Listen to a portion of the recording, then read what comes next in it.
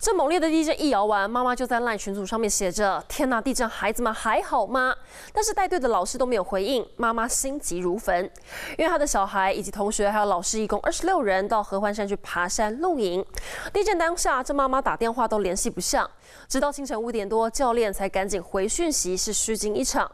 校方也表示，可能是地震当下这个讯号不稳定，才会导致联系不上孩子，误以为是师生失联，但其实没有，师生都非常的安全，也会在今天顺利下山回学校。华视新闻看起来，赶快订阅我们的华视新闻 YouTube 频道，欢迎按赞、订阅、开启小铃铛，最新最及时的资讯要提供给你。